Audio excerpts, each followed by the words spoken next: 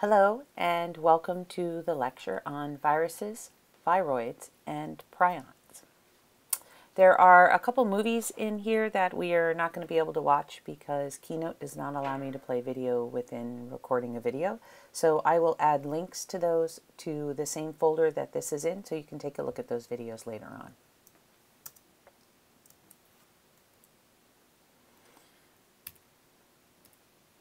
All right, so overall, viruses. Viruses are non-living. They are considered acellular intracellular pathogens. Uh, they must gain entry into a host cell in order to cause disease. Their main purpose is, of course, not to cause disease, but to take over this, the molecular machinery of the cell in order to replicate. So they need to make more copies of their own genetic material, build their proteins, and enter uh, enter into the system to invade more host cells just to simply make more viruses. Uh, viroids are small little naked pieces of RNA. They cause disease in plants. We don't really see any or know of any viroids that cause disease in humans. There's a couple that cause disease in insects, so they are capable of entering into animal cells, not just plant cells, but for the most part, they are uh, plant viruses. Then we have pri uh, prions, which are not really viruses at all. They are proteins, and they are a glycoprotein that has folded to a more stable state and has changed its function from one to be beneficial to the cell uh, to uh, being detrimental. In viral taxonomy, we have to, of course, uh, classify different viruses, families of viruses. So family names always end in viridae, genus names always end in virus, and a viral species will be determined by the host the species of the host that it, uh, that it infects or invades, as well as genetic similarities. There are subspecies, unlike uh, animal taxonomy where we end with species. When we get into uh, virology or even in microbiology in general, we start to, uh, because of common genetic differences, we have to start moving into subspecies and sub-subspecies, and it can start getting quite complicated when we try to get down to an individual subspecies of virus. When viruses are classified in general, they are classified by their nucleic acid type, whether they're an RNA virus or a DNA virus, and their replication mechanism. In RNA and DNA viruses, there's types two different types of replication mechanisms. One is called a positive sense and the other one is called a negative sense. We're not going to get into that here, but there are different forms of replication. And then, of course, the shape of the virus, the morphology. So viruses are genetic material surrounded by a protein coat called a capsid. The capsid is made up of small protein units called capsomeres, and they create a vessel that'll carry this genetic information from one cell to another. The genetic information found in viruses will be RNA or DNA, but it'll never be both. Uh, viruses will have spikes. Our cells have receptors. Uh, and these receptors are used by cells to sense what's going on in the environment for uptake of different nutrients, for endocytosis, etc. So viruses take advantage of this, this uh, receptor system that we have, and they have glycoproteins on their surface that are uh, called spikes. And viral spikes will be unique, and they will be specific to, the, to a specific receptor on different cell types. So virus spikes are complementary to cellular receptors, and that is how they are able to enter some cells and not in others. The spikes from viruses can be found either directly attached to the capsid or for animal viruses that are enveloped, those spikes will be um, uh, embedded in the actual membrane or in that, that envelope. Most viruses are very specific to the types of cells that they infect. If you are infected by, we used uh, in class, we talked about hepatitis. So if you're infected with the hepatitis virus, it's only going to infect liver cells because only liver cells contain the receptors that the viral spikes on the hepatitis virus are specific for. Uh, the host range that uh, viruses can infect is going to be determined by those spikes and attachment sites. Viruses come in a pretty big range of sizes and shapes. This diagram in the top right here, you can see that there's uh, several viruses just trying to compare to the size of a bacterial cell versus a red blood cell. Uh, there is another class of viruses called bacteriophages. Bacteriophages are viruses that attack bacteria. So they are referred to uh, just uh, regular uh, nomenclature, we just call them phages. A complete, mature, ready to infect uh, viral particle is called a virion. So you'll hear the term mature virion. And again, composed of some kind of genetic material that is surrounded by some kind of coat made out of proteins. DNA or RNA, never both. This genetic material can be single-stranded, it can be double-stranded, uh, sometimes it's in a circular form, sometimes it's linear, sometimes it's in multiple pieces, sometimes it's one big giant piece, and how much genetic material is within a specific virus is going to be dependent on the actual species of virus. So it is what we call virus specific. The capsid and envelope found on the outside of viruses.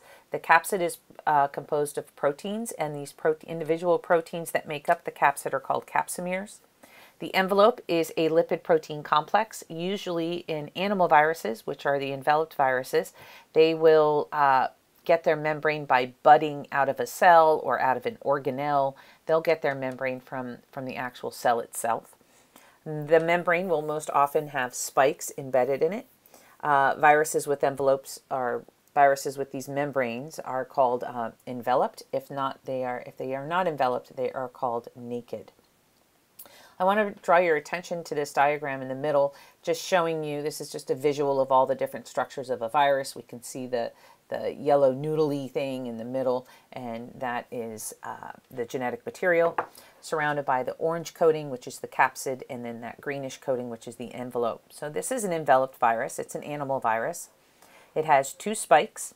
Uh, so cells that will uptake this virus will have two receptors that these two spikes are specific for.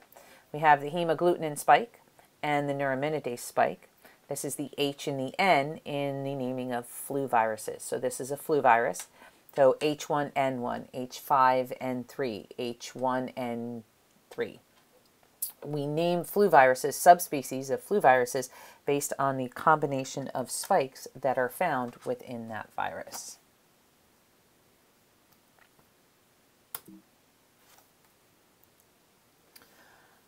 Okay, so here are just some pictures of enveloped viruses. Um, we see in the top left there, I believe that's another flu virus. We've got the herpes simplex virus, Epstein-Barr virus. Epstein-Barr virus is associated with mononucleosis. Of course, herpes uh, most people are pretty familiar with.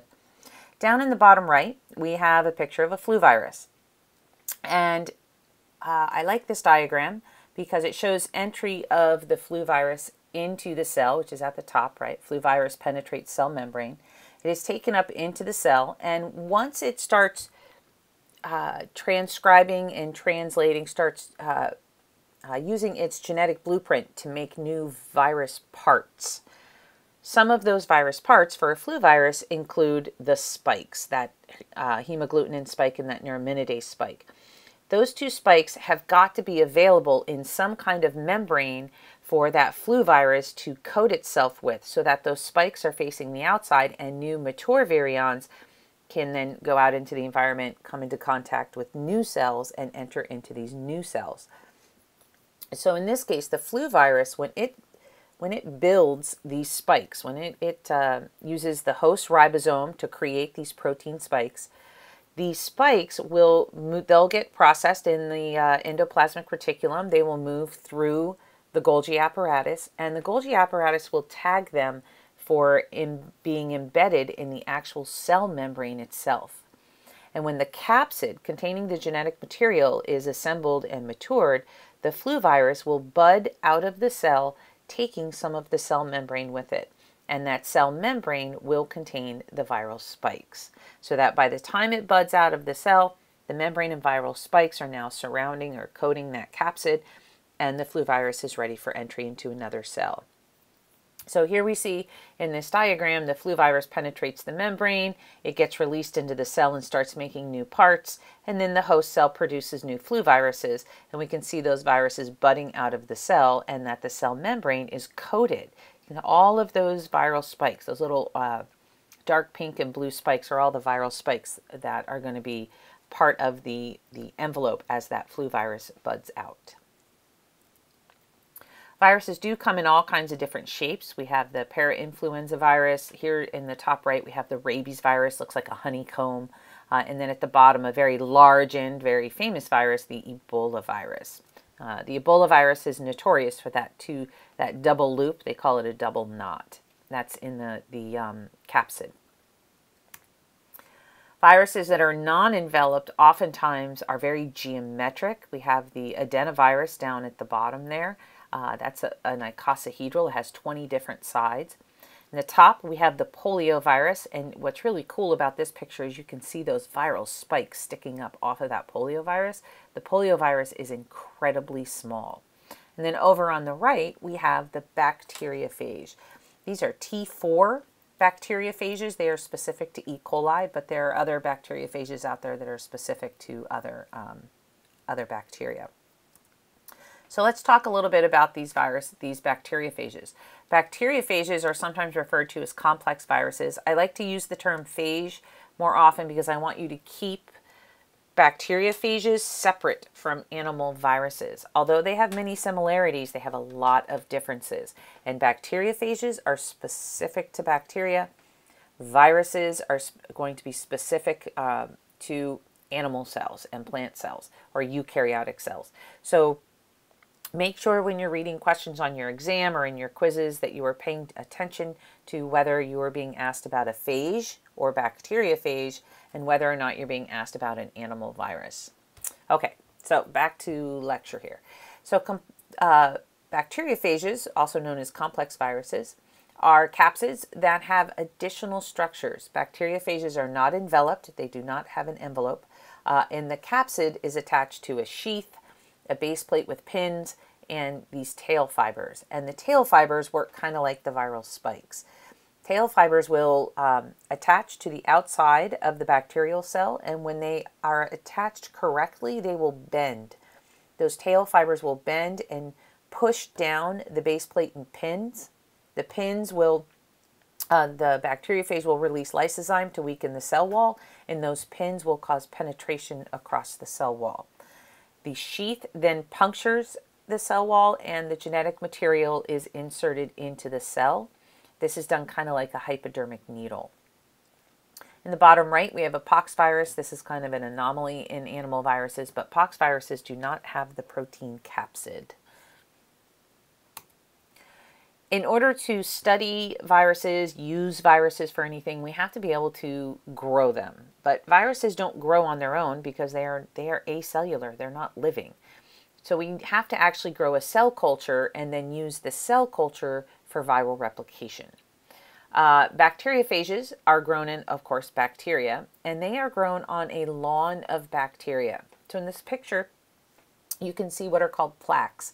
Plaques are actually where bacteria have died due to, excuse me, due to phage infection.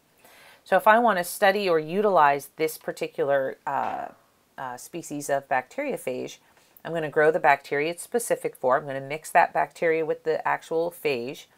I'm going to spread that bacteria or pour that bacteria onto a plate, and I'm going to allow the, the bacteriophage to kill some of the cells. That tells me where the phages are located on this plate. I can then go in and with a with a uh, inoculating loop and, and aseptically remove bacteria surrounding the plaque. That bacteria and agar surrounding the plaque will will contain the the, uh, the bacteriophage that I'm looking for. If I want to grow animal viruses, I can do it in one of two ways. I can uh, most viruses are uh, animal viruses used in the pharmaceutical industry for vaccine purposes are usually grown either in a living animal, which is can be unethical if it's going to make the animal sick, uh, or they can be grown in embryonated eggs. Eggs are the most common form of uh, or most common vessel in which viruses are grown, and they're used mostly to manufacture vaccines. Uh, for example, the flu virus is always grown in eggs. Some viruses can be grown in a host but don't cause disease. And so here in the embryonated eggs, uh, in the bottom right, we can see there are uh, all kinds of different places inside of an embryonated egg that we can we can grow these different viruses. Now the egg is going to be inviable. It's it's not going to hatch into a chicken. Uh, and they're not going to grow more than one virus in a single egg, but that diagram is just simply there to show you there are lots of different areas within an egg that can be injected with virus so the virus can be grown. Now growing animal and plant viruses, we have to use a cell culture. Uh, we can oftentimes maintain a cell line for an extended or indefinite period of time, so we just keep replicating these cells due to mitosis.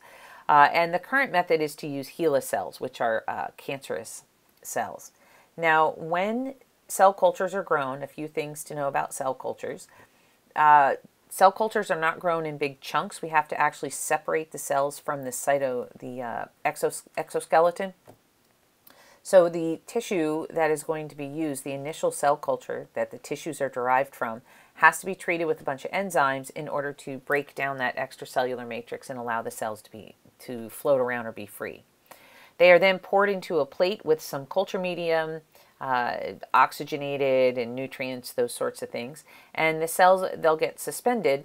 And when human cells or uh, tissue, these, these individual cells start growing in culture, animal cells will only grow in a single layer. So we, there will only be one layer thick. Cells that are transformed either through virus or cancer or mutation, they are going to grow in a lump. They'll grow on top of each other. Healthy cells will only grow in a single layer. Transformed cells will grow in um, a large lump. So we can take a look and just look at the cytopathic effects of the viral infection or changes in cellular behavior or growth and determine which cells are viral infected and which are not. We then can extract the viral infected cells and then get the virus out of those cells for whatever we're going to use that virus for. This transformation of cells is known as a cytopathic effect. It's uh, here with viruses, it's the deterioration of normal cells, but cytopathic effects can be seen in cancer cells, uh, bacteria infected cells, those sorts of things. It's just talking about changes in cellular behavior or structure function. How do we know what virus is present, what virus is infecting something? How do we, how do we figure out uh, what virus is causing a disease in a patient? Uh, there are a couple of different ways. Uh, tissue biopsies can be put through uh, electron microscopy or just looking at it under a light microscope after staining, seeing if there are cytopathic effects to the cells. In the top left, I mean, I'm sorry, top right there, you can see what normal mouse cells may look like. And then on the right, those same cells after a virus infection. That's an example of a cytopathic effect. There's definitely a major change in cellular structure. We can also use serological tests where antibodies are used. Uh, we, in a similar manner that we talked about in antibody fluorescent microscopy.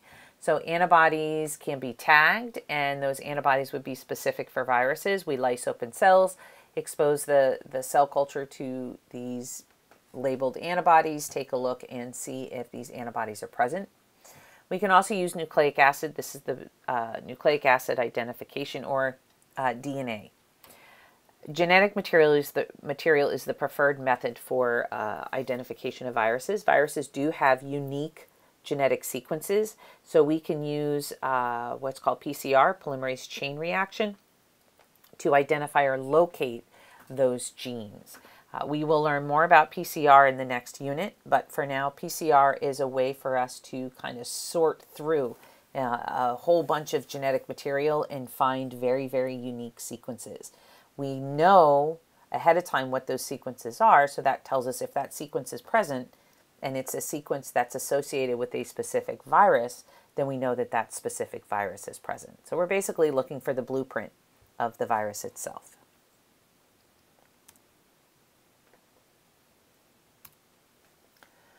Now, viruses go through a one-step growth curve, and one of the uh, in an acute infection. And one of the problems with viral infections is that they're intracellular obligates. This means that in order for the virus to be detected, it's got to be outside of the cell. If we're going to take a blood sample and look for these viruses without lysing open any cells, we're not going to see any very shortly after exposure. And this is primarily because the viruses enter into what's referred to as an eclipse period the the virus is being eclipsed by the fact that it has to gain entry inside of cells. So for a short period of time, these viruses are going to be inside of our cells and they're going to be going through that process of replication, of transcription and translation, assembly, maturation. They're going to be going through a, a part of their life cycle that occurs inside of the cell before they are released out into the environment. So while they're inside of the cell, kind of uh, uh, getting things going, we're not really going to see many viruses out in the bloodstream or outside of cells, so they can be difficult to detect. During the eclipse period, the cell is has been taken over by the virus, and all of the mRNA in, this, in the cell, all of the uh, enzymes and proteins associated with, with genetic replication, RNA production, uh, protein synthesis, all of that machinery is now completely devoted to viral replication. If a virus successfully takes over a cell, it will devote all of the cell's functions to viral replication. Everything else in the cell will cease, so it won't function the way that it should. So after the eclipse period, virions are now mature, so they're now being released out of the cells. As the virions become exposed to the extracellular environment, the host's immune system is going to start responding. So the patient will, will move into an acute infection state. Uh, once they're at the height of an acute infection, this is usually when the, the immune system is at its strongest and is uh, at its most aggressive. People don't feel so great, but once the immune system starts to get things under control, then the, of course, the viral load is then going to start going down because the immune system is destroying or neutralizing those viruses. Now, in addition to an acute infection, in viral infections, there are also latent and persistent. Uh, latent viral infections, the virus remains asymptomatic. Uh, for a very long period of time, the patient can have recurring outbreaks or maybe only one or two outbreaks, but they will have the, the viral will be in their system for the rest of their lives. So chickenpox is a latent viral infection. Later in life, people will develop shingles. Uh, cold sores, the herpes cold sores, are also latent viral infections. Persistent viral infections are ones that uh, present, uh, present themselves over a long period of time. Persistent viral infections are also referred to as chronic. The person never really truly is asymptomatic. Usually they don't feel so great and it just progresses over time. Hepatitis, uh, untreated HIV. It'll start out with an acute infection and that acute stage will be either very short lived or it could just never really come all the way back down to recovery. They just kind of, they'll get better and then just over, gradually over time will feel worse and worse and worse or the viral load will get higher and higher and higher. And eventually, in some of these, it oftentimes is the, is the final cause of death. Not always, not always, but sometimes. So let's start talking about bacteriophages. Now, bacteriophages have two basic life cycles. They have what's called a lytic cycle and a lysogenic cycle. In the lytic cycle, we have five basic steps of this replication cycle.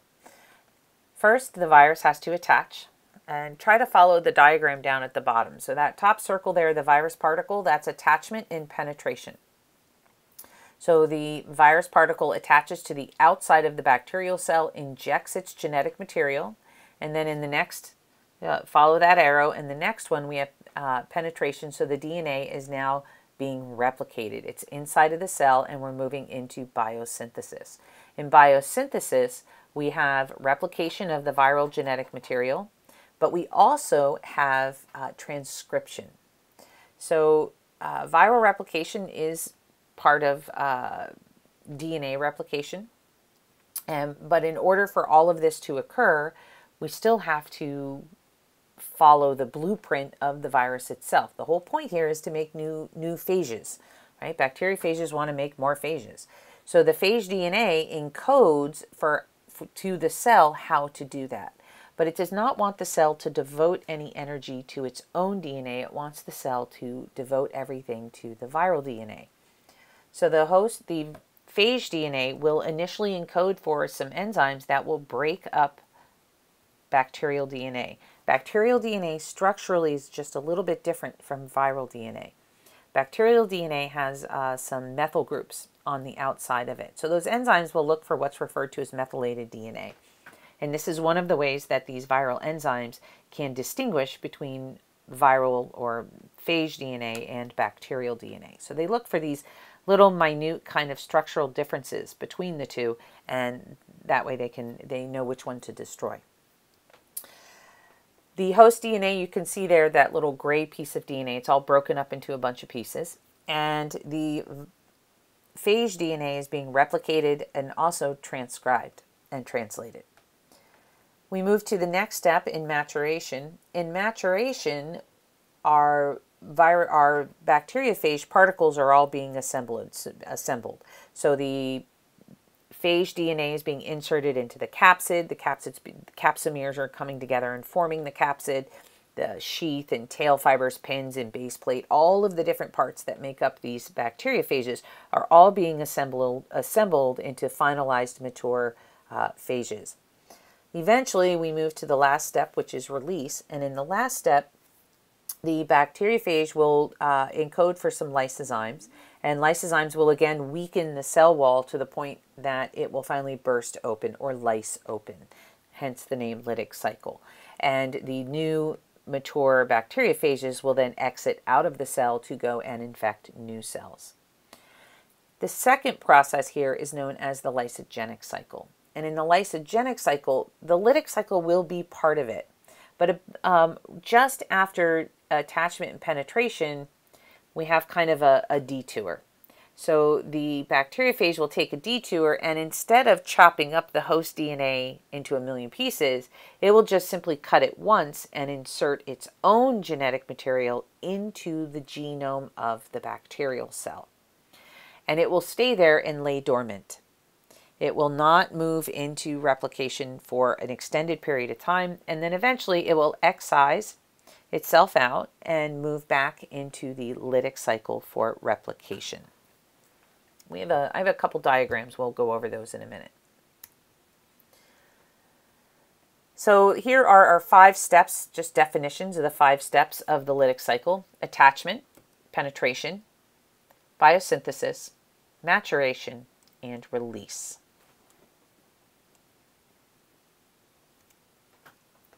Now, the lysogenic cycle. Over here on the right, I want you to see where that bacteriophage is sitting on top of that bacterial cell. That blue line is the genome of the bacteriophage. And in the second copy of the cell, we can see that the DNA from the phage has been inserted and attached to the DNA of the bacterial cell. When a phage inserts its genetic material into the bacterial cell, it is now referred to as a prophage. So when you hear the term prophage, you're talking about a lysogenic cycle. Uh, when we are in, uh, when a phage is in a prophage state, it's going to be inactive. Now, it enters the cell and starts the lytic cycle, but then after attachment and penetration moves into that prophage step. The inserted phage is now referred to as a prophage. A prophage is genetic material, and we it does not want the bacterial cell to necessarily transcribe and translate it. Remember, this is A, T, C, and G, both in the, the bacterial DNA and the phage DNA. So but if there's no repressors or no way to regulate that genetic material from the prophage, it's just going to go straight into a lytic cycle because it's just going to make copies and copies of its own genetic material. So a prophage will either bring proteins with it or will allow for some low-level transcription in order to build the proteins need, needed for genetic repression. Genetic repression is when proteins, enzymes usually, will sit on the surface. They'll attach to the DNA and prevent transcription and translation of that genetic material. So they're known as repressor proteins. Every time the bacterial cell, however, every time the bacterial cell goes through binary fission, it's going to replicate its DNA. And since this prophage is now part of the host genome, that prophage DNA will also be replicated. So every consequent uh, cell division that occurs, every time binary fission occurs, a binary fission event, we go from one prophage infected cell to two prophage infected cells. Now those two cells are going to go into binary fission again. Remember, growth in bacteria is exponential, so we're going to continue uh, this division process. And we can go from a single prophage infected, bacterial cell to uh, an entire population of prophage infected cells. At some point in time, at some point in time, this prophage is going to be stimulated by some kind of environmental or external stimulus, but it's going to be signaled to excise or be cut back out of the host genome in order to move back into the lytic cycle. There are bacterial cells that may remain as a prophage for their entire life cycle, but um, somewhere down the road, this prophage is going to pop out and it's going to move into a lytic cycle and become a mature virion again. Now here's a nice diagram that really shows the lysogenic cycle well. And on the left we have the lytic cycle and on the right we have the lysogenic. And what I want you to get from this is that they are related. They are kind of codependent on each other to some extent. Not all bacteriophages are lysogenic. Keep that in mind. Many bacteriophages are lytic cycle only. Okay, lytic cycle only. So a phage will attach to a host cell, inject its DNA. You can see that in step one. In step two, the little red two there, um, we see the viral DNA or the phage DNA on the left in hot pink, and we see the host DNA, the bacterial DNA on the right. It's at this point in time that this phage DNA has kind of has to make a decision or do something, and it's either going to go to the left into the lytic cycle, maturation or biosynthesis, maturation, and uh, release, or it's going to become a prophage and enter into the lysogenic cycle. So after penetration and attachment is where our our phage is going to figure out which way it's going to go. Is it going to go uh, into the lytic cycle or is it going to go and become a prophage in the lysogenic cycle? If it turns into a prophage, we can see in step 4b there that uh, uh, the bacteria will reproduce normally through binary fission, causing multiple cell divisions, and we get this whole population of bacteria that are prophage infected. But at some point in time, the prophage is going to be excised out of the bacterial chromosome. This is um, going to initiate that, that phage DNA to move into the lytic cycle.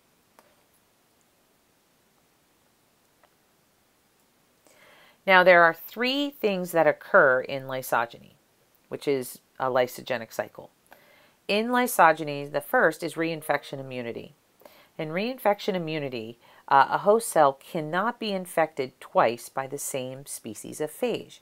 And this is because when phage DNA incorporates into the host genome, it is not a random event. And what I mean by that is that it doesn't just find a place and stick its DNA into the host DNA. It is going to be looking for a specific sequence. That's one of the things that makes these uh, phages uh, uh, species or host specific. So it's going to be looking for a very specific genetic sequence that it will use to insert itself into the host DNA. If that sequence already has uh, phage DNA or a prophage is already present in that spot, it cannot insert another prophage.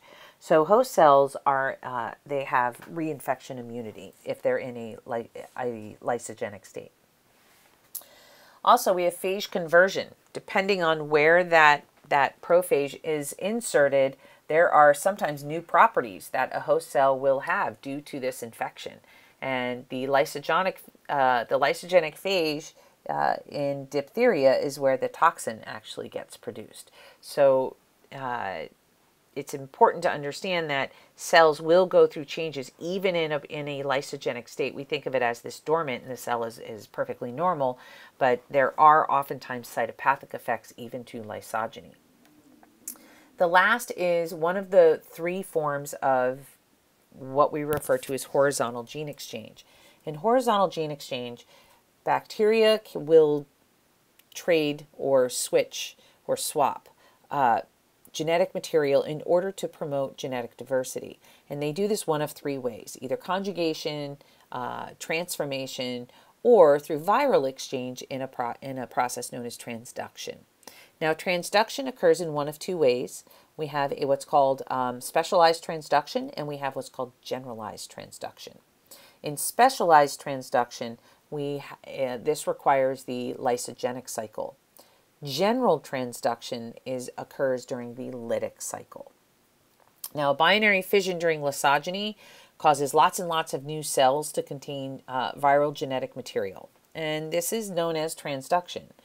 However, when a prophage excises itself out of a bacterial genome, when a prophage does this, it oftentimes, or well, sometimes it makes a mistake. This is known as an excision error. And it will take a little bit of the host DNA and incorporate it into that new prophage DNA that's been excised out of the genome. This extends the prophage DNA with a little bit of host DNA. And if that host DNA contains a gene that is, that is usable by the next cell, then we have transmission of genetic material. So this diagram here is a, um, a bacterial cell. Uh, we're looking at genetic exchange through specialized transduction. So let's start with step number one. In step number one, we have a, a bacterial cell that is in lysogeny, meaning a prophage is present, it's been infected by a bacteriophage, and that bacteriophage has moved, once the genetic material entered into the cell, had moved into a uh, lysogenic cycle. So it is a prophage. So the prophage DNA here is in pink, and where the prophage inserted itself into the host DNA is right up against a gene for fermentation of a sugar known as galactose. So this is the uh, donor cell. And this whole population of cells, this uh, prophage goes through cell divisions, all those sorts of things, and something happens that causes this prophage to excise out. What causes prophages to excise out of the genome is not always understood. We don't necessarily know what all those processes are or what signals a prophage to do that. It could be uh, bacteria specific, it could be uh, phage specific. Either way, the phage genome now excises itself out, but when it does it, it doesn't do it exactly where just the hot pink is. Instead, it extends that excision, the piece that's going to be cut out, it cuts in the wrong place. And in doing so, it ends up incorporating some of the host genome with it. So here in step three, we see the phage has moved into the lytic cycle. It's gone through uh, biosynthesis and maturation, and we now have new bacteriophages that contain phage DNA in addition to host DNA from its previous host. That host DNA happens to contain a gene for galactose. This new uh, bacteriophage goes out into the world and infects a new cell. It infects a new cell that does not have the ability to ferment galactose. And when it moves into a lysogenic phase, we can see in step five, it's going into a lysogenic state. And in step six, it's now a prophage, but this prophage contains not only uh, bacteriophage genome, but host genome. And in this lysogenic cell, once a cell is infected with the prophage, it's referred to as lysogenic. This lysogenic cell contains basically contains DNA from three different sources. It has its own DNA, so that's one source. It has the phage DNA, that's the hot pink because the phage did infect it and become a prophage. But it also contains a small piece of DNA from the host cell that this prophage was previously from. So it now has a gene for galactose metabolism. It couldn't metabolize galactose before the phage infection, and now it can due to the prophage insertion and being a lysogenic cell. So this process is a form of gene exchange. It did not result in any new cells, right? So it's horizontal gene exchange, but it is it is introducing new genetic material. So we have this horizontal gene exchange. It's just using a, a viral particle as, as a delivery method. Okay. Now in generalized transduction, that occurs in the lytic cycle. I'm going to go back a little bit to another slide. This one right here. And I want you to, to take a look. This was one of the first slides we looked at. Uh, take a look the, at, at the, the cell all the way on the right. After penetration, after attachment and penetration in the lytic cycle of a bacteriophage, it's going to it wants to take over this cell. Remember, this is a hostile takeover. So this phage takes over the cellular machinery and starts dedicating that all of those cellular proteins and enzymes to viral replication or to, to phage replication. If the host genome were to continue uh, being intact, some of those resources would be diverted to host genome. And the phage, the phage, phages do not want that. So they're going to tear up or cut up the host genome. So the host chromosome essentially is chopped up into a bunch of pieces. And all those different pieces are kind of floating around in the cytoplasm. Remember, bacteria cells do not have nuclei. They don't have any kind of organelles. So everything's all floating around in one big package. So we have host uh, ho pieces of host DNA floating around. We have all these uh, extra copies of the phage DNA floating around. And then we have assembly and maturation of this all going on all in the same place. So we have bacteriophage proteins and parts and, and enzymes for assembly and all of that. It's all happening inside of this little tiny, this little tiny package. So sometimes in generalized transduction, there's a packaging error. And when the, the enzymes are packaging the genetic material into the capsid of the bacteriophage, instead of including viral DNA, they accidentally package one of those broken pieces of host DNA, of the bacterial DNA.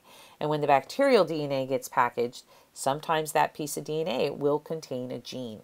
Now, this can be uh, packaged in addition to uh, uh, phage DNA, so you might have more than one type of DNA in there. But regardless of how it gets packaged, it gets packaged accidentally. It's not supposed to be in there. Now, that particular virion, when it re is released, that particular bacteriophage upon maturation is released out into the environment, it is still capable of infecting another cell. And when it gets into the new cell, that genetic material will be injected into the new cell. And if it, it goes into a lysogenic state, then that bacterial DNA that accidentally got packaged will also be incorporated. And now this recipient cell, this second cell, will now have whatever characteristic is being introduced with that piece of DNA. So in lysogeny, we have uh, specialized transduction. It can only occur in the lysogenic cycle because it's that excision error. Then we have generalized transduction, which is a packaging error, and that occurs in the lytic cycle. All right, so let's go back to where we are.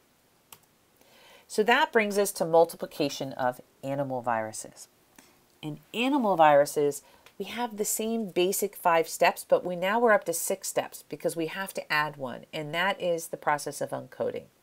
So let's take a look at these steps in order. I don't want I don't want to get too far ahead. All right, when animal viruses multiply, they also go through attachment. But how animal viruses attach to the surface of the, of the cell is very different. They are very spike and receptor dependent. So animal viruses are very, very picky about the cell, the species, as well as the type of cell that they're going to infect. Now, penetration of the virus into the cell can occur in, in a couple of different ways. Uh, we can have uh, what we call fusion, where the if it's an enveloped virus, the envelope of the virus will literally fuse or melt into the cell membrane and then drop down in the capsid itself will drop down into the into the cell. Or we can have uh, what's called receptor mediated endocytosis. If you do not remember that from anatomy you need to google or youtube uh, a quick video on receptor mediated endocytosis so you understand how spikes and receptors play a role in the uptake of uh, viruses and other particles. But receptor mediated endocytosis is um, kind of like a, a, form of phagocytosis. Now, uh, after penetration, what gets taken up is the entire virus. So here, the capsid of the virus, that protein coat, does not get left behind like a bacteriophage. It actually enters into the cell. And a virus cannot take over a cell until its genetic material is into the cell. So animal viruses have to go through the additional step of uncoating. Uncoating occurs a multitude of different ways. I'm going to give you a link to um, the yellow fever that kind of shows how that particular virus uncoats. Uh, it's really kind of fascinating. But uncoating occurs a multitude of different ways, and it can be carried out by either uh, the, vir- the virus brings its own enzymes, uh, or sometimes the host enzymes are used for it. But uncoating is removal of the capsid. Uh, and this is one additional step that animal viruses have to go through that bacteriophages do not. Of course, then we move into biosynthesis where the new nucleic acids and proteins get produced. Maturation is where everything assembles. The maturation of animal viruses in bacteriophages, maturation occurs inside of the cell prior to release. In animal viruses, maturation can occur inside of the cell prior to release or during release, such as an enveloped virus like the flu virus getting its, its uh, final envelope and spikes, or it can even occur after. Uh, HIV does not fully mature until after it is released from the host cell. So the maturation process in animal viruses is also a little more complex. How these viruses are released from the cell, majority of them are released through budding because most animal viruses tend to be enveloped. And this is uh, envelopes come from organelles or the cell membrane. But some that are non-enveloped viruses, such as uh, the norovirus, those actually release from cells by rupture. So the cell is lysed open and the mature virions are released all at once. So you can see we have kind of the same pattern of multiplication of animal viruses as we do in phages, but the mechanisms that are used in animal viruses are different. And you have to think about the structural differences between a eukaryotic cell and a prokaryotic cell. Bacteria have cell walls. We don't have cell walls. Bacteria do not have organelles. We do have organelles. Bacteria don't have a lot of immunological properties. They have some, but they don't really have much of an immune system. We do have a lot of, of immunological properties. So there are some major differences really due to cellular structure and, and cellular function. This is a uh, uh, picture. Your, your textbook also has a similar diagram where it really kind of just compares bacteriophages and viruses. You can pause this, this lecture and go through these differences if you want. All right, so let's look at the steps of uh, animal virus replication. Uh, animal viruses are not complex, or nearly as complex, I should say, as uh, bacteriophages. They don't have all of the extra parts, so assembly is a lot quicker for these guys. They do have on their surface attachment sites that are complementary to cell receptors. So they have very specific uh, cell receptors that they must attach to.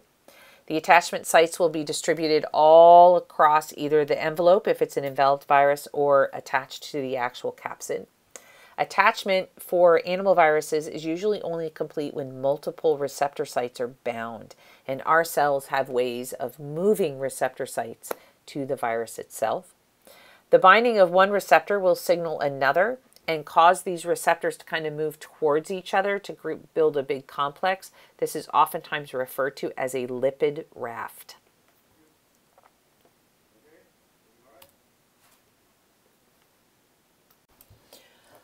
All right, so here we have uh, two pictures showing the two different ways that penetration occurs.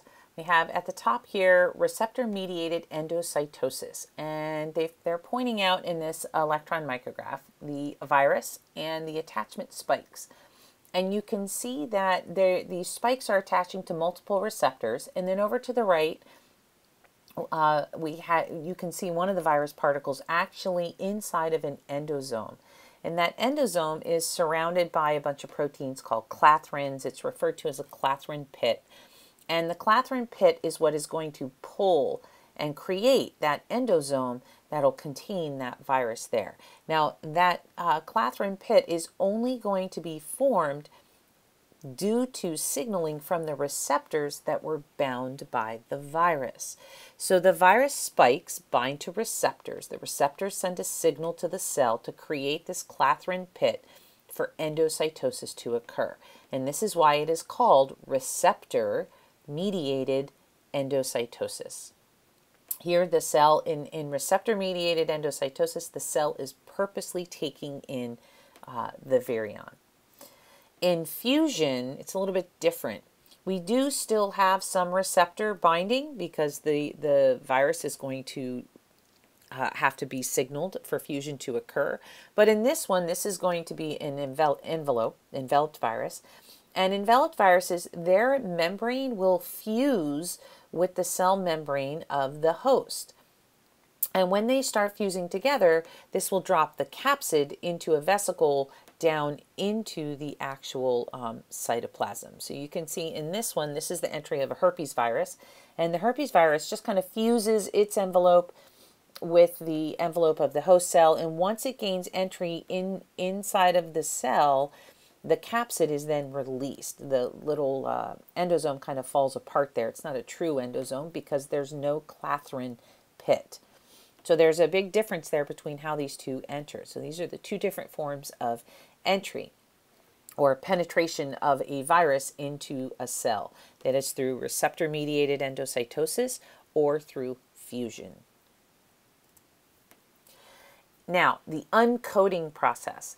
The uncoating process occurs when the capsid is now inside of the cell. The capsid has to be removed in order for the genetic material of the virus to be released. So we get separation of the virus genome from the actual protein coat. This can occur a couple of different ways. It can oftentimes, the, the most common is that the capsid is digested by the host cell enzyme. So we some capsids, their capsomeres are composed of proteins that are digestible by enzymes we already have in our cells.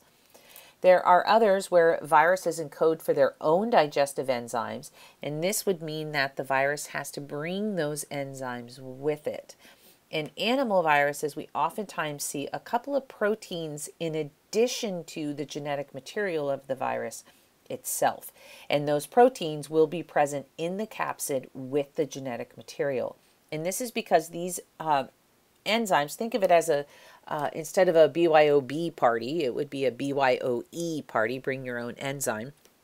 And these viruses bring these enzymes because the host cell doesn't make them. They are virus specific enzymes. And the virus can't get things started. It can't start its infection or replication process without these enzymes. So it has to make them and package them with its genome so that when it travels to the next cell, it has those proteins available to it to get things to get things started. The uncoating process itself, again, sometimes they bring their they they use their own enzymes to digest, or they'll use the host enzymes to digest. There are a couple. Uh, when you look at that yellow fever virus, you're going to see how it uncoats. It's really uh, virus specific. So there are other mechanisms. Just those two are the most common. Now, biosynthesis. In biosynthesis, uh, DNA containing viruses will have to replicate uh, their all of their stuff in the uh, nucleus because eukaryotic cells do not have DNA in the cytoplasm. If DNA is present in the cytoplasm, the host cell will destroy it because it knows that it is foreign. And all of our cells, all of our cells have the ability to destroy viral DNA inside of the cell. And we'll see how that occurs in the Unit 4 in immunology. But DNA containing viruses, they have to replicate inside of the nucleus of the host because that's the only place that the viral DNA can survive.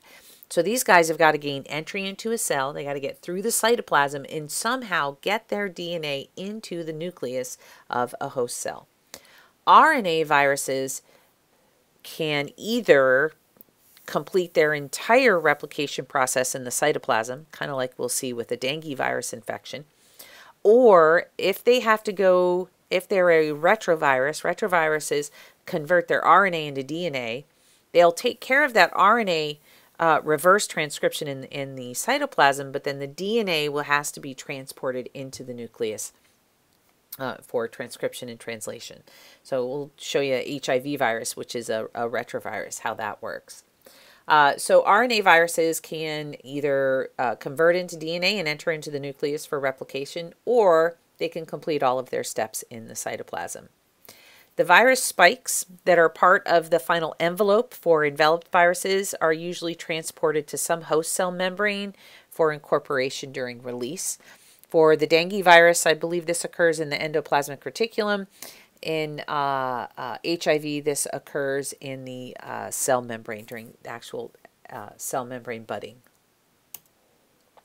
Here's the dengue virus video. I'll give you, I'll uh, upload that for you in the folder. Now, how about release? Uh, release of an enveloped virus occurs through budding. Again, those viruses exit and they're going to take host membrane as their envelope. So most viral envelopes are composed of phospholipid bilayers. Those viral protein spikes are made during bio biosynthesis and embedded within the host membrane. Now, this membrane can be the actual cell membrane. It could be the membrane of the endoplasmic reticulum or the Golgi apparatus, some other organelle. It doesn't always have to be the actual cell membrane itself.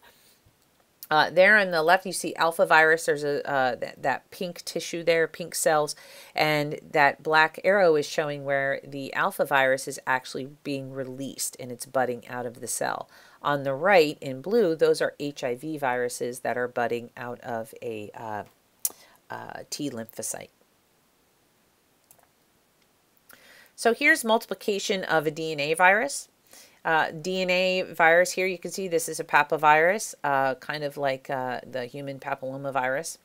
And it attaches to the cell. In step two, it enters into the cell, starts uncoating, making, going through its process. In step three, part of the viral DNA gets transcribed and it has to be, uh, notice it has to gain entry into the nucleus. So now we have viral DNA in the nucleus. Uh, when the viral DNA is inside of the nucleus, it is going to be transcribed into mRNA. mRNA is going to go out into the cytoplasm to meet up with ribosomes.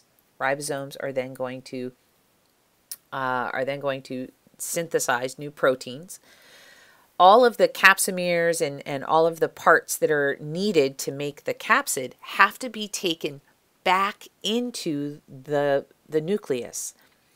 That DNA, that viral DNA cannot enter the cytoplasm. The host cell will destroy it.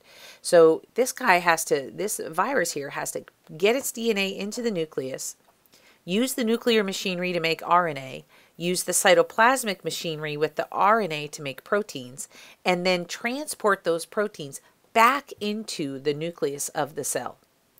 Assemble the capsid and genetic material inside of the cell and then allow this virus to bud out or release out into the cytoplasm and eventually outside of the cell so it can infect a new cell. So take a look at this diagram and see where, follow the genetic material and see how it has to go into the nucleus and then eventually it's going to come back out. Now, retroviruses are RNA viruses, and uh, RNA viral replication can oftentimes, uh, like you will see in the dengue virus video, that one isn't, that's an RNA virus and it takes place, uh, its replication process takes place entirely in the cytoplasm. Nothing ever enters into the nucleus. However, retroviruses are a little different. Now we know our central dogma, the, the uh, way that cells work is that DNA makes RNA makes proteins. It's referred to as the central dogma of biology. So DNA is transcribed into RNA. That is transcription. RNA is then translated into a protein. So that's translation. And retroviruses, when they enter into a cell, they deposit, they contain RNA. But their RNA has to be translated into, or excuse me, transcribed into DNA. These guys can't, they can't automatically uh, translated into a protein. They actually have to make DNA first. This is because these retroviruses, they go lysogenic. They actually become a, a provirus, and the provirus will enter into the nucleus and uh, enter and embed itself into the host DNA and sit there. So it's very similar to the lysogenic cycle in bacteriophages. So here we have uh, like HIV here. This is a, a lentivirus. It's a, a reverse transcription. So our virus enters into the cell, releases its viral RNA into the cytoplasm. It brings with it an enzyme called reverse transcriptase. Reverse transcriptase will reverse transcribe RNA into DNA. the DNA will then enter into the nucleus and incorporate itself into the host DNA. So I now have a provirus. The provirus can sit for days, weeks, months, uh, or it can immediately go into transcription translation. But when it goes into transcription translation, it doesn't leave the host genome. Bacteriophage lysogeny, the viral genetic material had the, the phage genetic material had to leave the host genome. But here, in proviral infections, it does not. It can remain in the host genome for an extended period of time. And it can either be dormant and just sit there and not do anything, or it can go directly into replication. It just stays within the within the host cell. Now, what's unique about this is that the host DNA remains intact. So the host cell can survive for an extended period of time because it's not shutting off all of the cell's processes. It's just simply including itself into the cell's processes. So these viral infected cells can survive for an extended period of time while biosynthesis and maturation is occurring.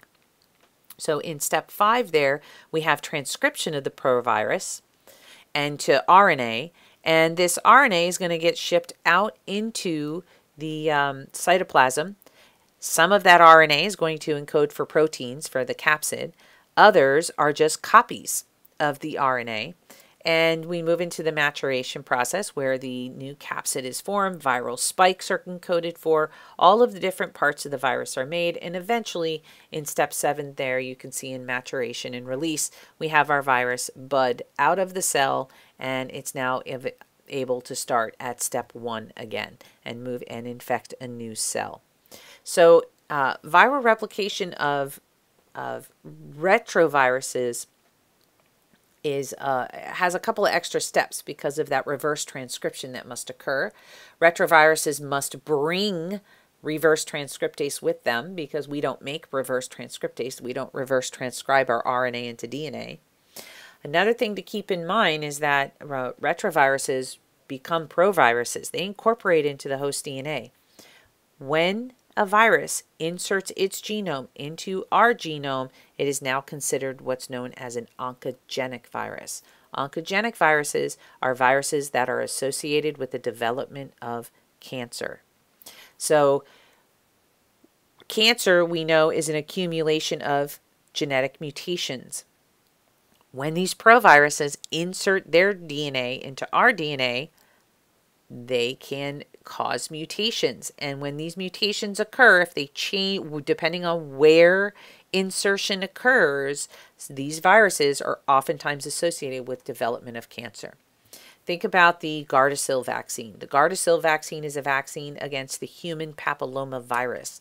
Human papillomavirus, or HPV, is a virus that infects cervical cells and is highly associated with cervical cancer. So people get, uh, women and men now, we know it um, actually infects all kinds of mucous membrane cells, but you get vaccinated against the HPV virus not because the virus makes you ill, but because the virus is associated with cancer. So if we can prevent infection by that virus, we can destroy that virus before it can gain entry into cells, then that person will be Okay, next we're going to watch a quick video on HIV infection, it, uh, how a retrovirus infects a cell. This video is working inside of here, uh, inside this recording. So I'm going to go ahead and allow it to play.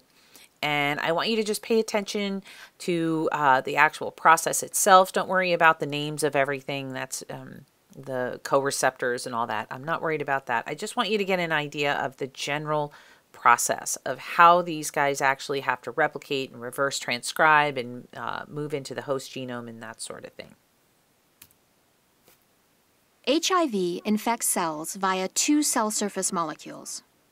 CD4 is the primary receptor for the virus, while the chemokine receptors CCR5 and CXCR4 act as co-receptors for the viral infection of macrophages and T cells respectively. HIV binds initially to CD4 via the envelope glycoprotein GP120. Interactions of the virus with CD4 and the co-receptor allow virus uncoating and the entry of the nucleocapsid containing the viral genome into the cell. The viral reverse transcriptase, which is an integral part of the viral particle, copies the RNA genome of HIV into double stranded DNA. The viral integrase then mediates the integration of the viral DNA into the chromosomal DNA of the host cell. In this state, the virus is latent. That is, it can persist in the cell in an inactive state. Reactivation of the virus occurs when the host cell becomes activated and viral transcription is initiated. This results in the accumulation of viral proteins as well as genome length RNA transcripts of the virus. Viral proteins assemble at the cell membrane with copies of the RNA genome and bud off to create a new viral particle. Maturation of this new virus particle continues after it is budded off from the host cell to create a new infectious virion with its characteristic nucleocapsid morphology.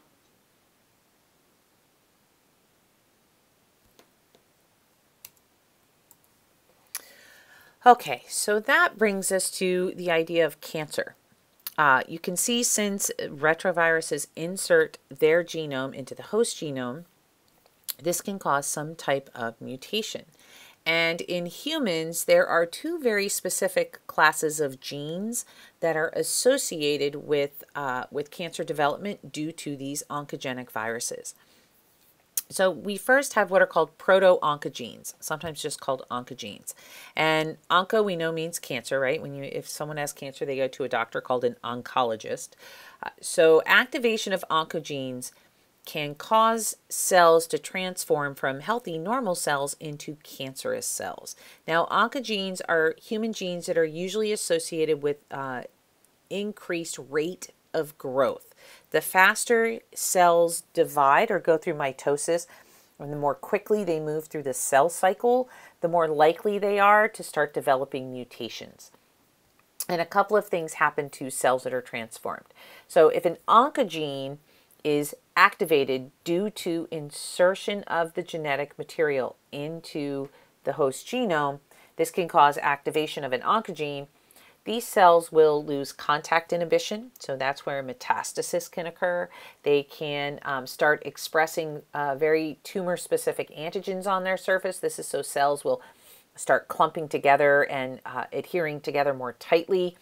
They will signal other cells to start dividing very rapidly, so they'll begin skipping skipping some of the proofreading steps in in the cell cycle so that the genetic material doesn't get proofread as well. Without proofreading, more mistakes will occur and um, not be corrected, and mutations will continue to develop.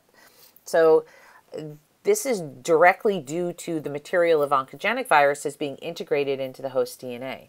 So oncogenes are genes that if those genes are turned on, if they're activated, a cell will move into what's referred to as cell proliferation.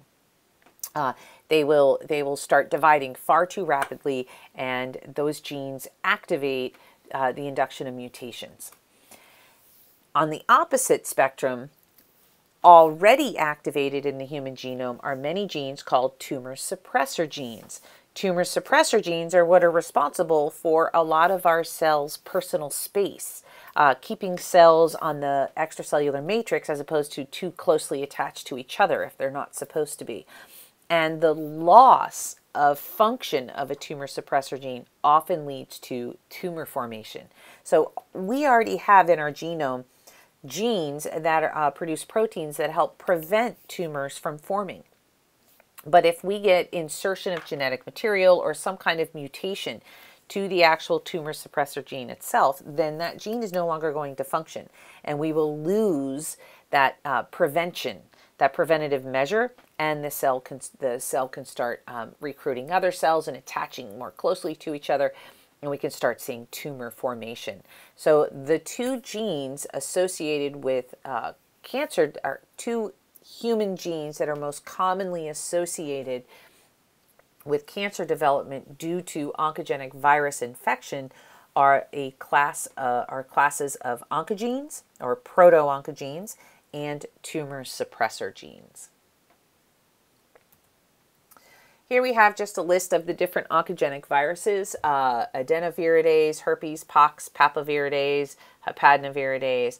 One thing to note is retroviruses. All retroviruses are considered oncogenic, and that is because a retrovirus must insert its genetic material into the genome of the host. So all retroviruses are oncogenic. Not all oncogenic viruses are retroviruses, but all retroviruses are oncogenic. And this is just a few examples of some of the different uh, retroviral and oncogenic viruses out there. So that brings us to prions. Prions are infectious proteins. They can be inherited they can be ingested. They can be um, transplanted. Uh, sometimes uh, prions are spread through surgery because of surgical instrumentation, and this is because prions are long-term progressive. They're without. Uh, they're difficult to diagnose. They're pretty rare, and uh, someone can oftentimes be infected by a prion for a long period of time and not know it. So surgical transmission can be an issue.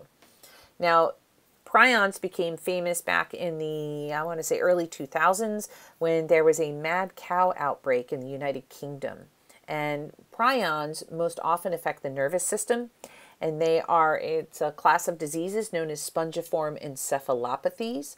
These are uh, encephalitis, which is swelling of the brain, and one of the characteristics on a autopsy or necropsy is that the brain itself, after infection by a prion, looks like a sponge. It has a lot of little holes and plaques in it. There are a couple of different spongiform encephalopathies. There's sheep scrapies, which affects sheep. There's Creutzfeldt-Jakob's disease, which is actually sheep scrapies in humans. There's Gerstmann-Straussler-Scheinker syndrome, which is inherited. There's another inherited one called fatal familial insomnia, where people are, are incapable of reaching REM sleep. Uh, most people who are born with fatal familial insomnia will usually pass away by their early to mid 30s. Their brains just can't handle it. They, the only way that they can achieve REM sleep is chemically with, with sleeping medication, and that's not a natural REM sleep. Then we have, of course, mad cow disease, the most famous of them all. And mad cow disease is the bovine form of sheep scrapies. So cattle develop sheep scrapies, and those cattle are then butchered and sold on the market as steak and and London broil and ground beef. And people who eat it then consume the prion and they develop Creutzfeldt-Jakob's disease.